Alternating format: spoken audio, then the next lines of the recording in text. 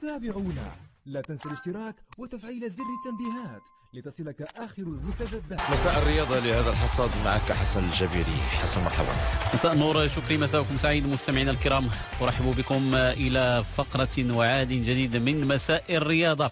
المسال بكرة القدم المغربية بداية بجديد المنتخب المغربي الأول حيث استهل منتخب الأسود اليوم تجمعه الإعدادي ترقبا لمواجهة منتخب جمهورية الكونغو ضمن الدور الفاصل عن التصفية الإفريقية المؤهلة إلى نهائيات كأس العالم قطر 22 و2000 وتوافد لاعبو المنتخب المغربي تباعا على مركز محمد السادس لكرة القدم بالمعمورة.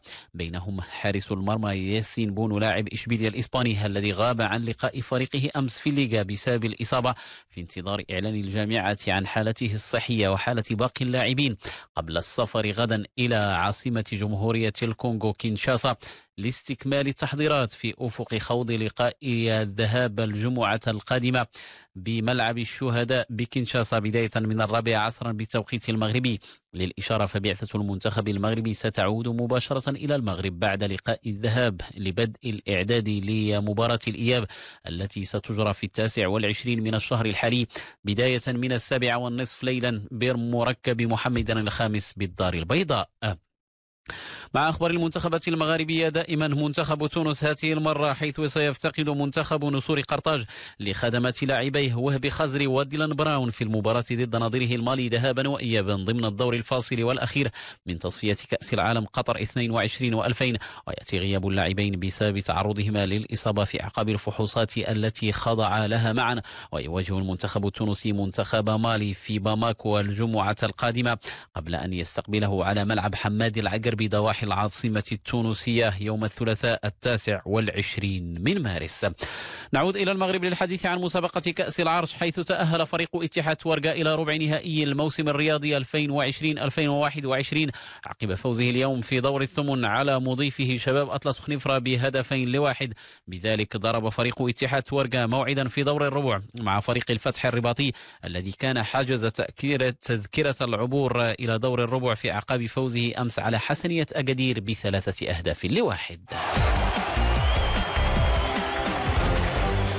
كرة القدم دائما دوليا اللحظة بداية بأخبار منتخبات أمريكا الجنوبية حيث أعلن الاتحاد الأرجنتيني لكرة القدم اليوم غياب نجمه لوتارو مارتينيز مهاجم إنتر ميلان الإيطالي عن مباريات منتخب بلاده في تصفية أمريكا الجنوبية المؤهلة لكأس العالم بقطر 22 و2000 جراء إصابته بفيروس كورونا.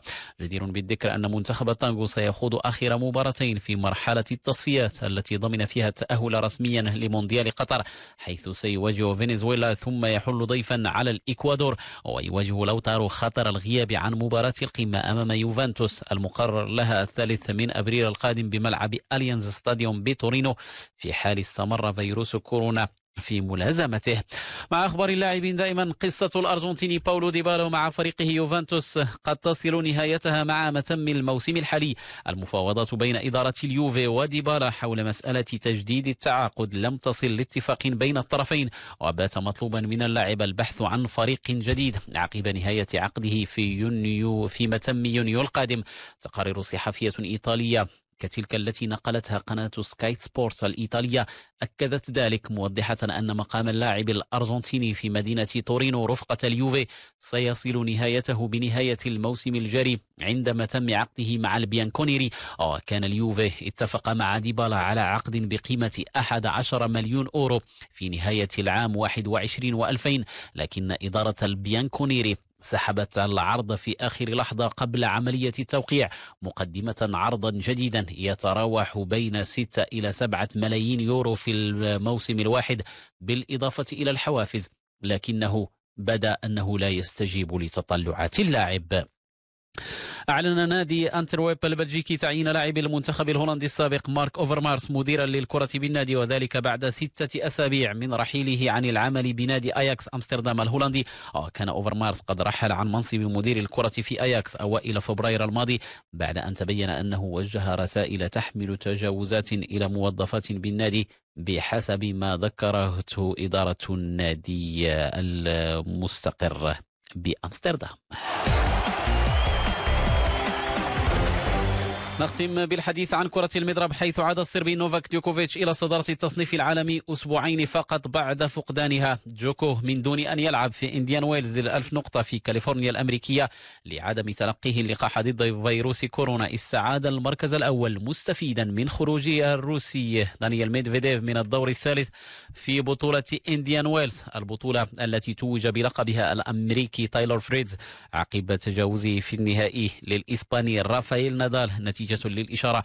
مكنت فريتز من دخول نادي العشرة الأوائل في تصنيف السيدات. تقدمت البولندية إيغا شفيونتيك مركزين محتلة للوصافة بعد تتويجها في دورة إنديان ويلز محققة بذلك أفضل نتيجة في مسيرتها فيما باتت وصيفتها في كاليفورنيا اليونانية. ماريا ساكاري ثالثة تقدمت بثلاثة مراكز. لذلك مستمعينا نضع نقطة نهاية مساء الرياضة أشكركم على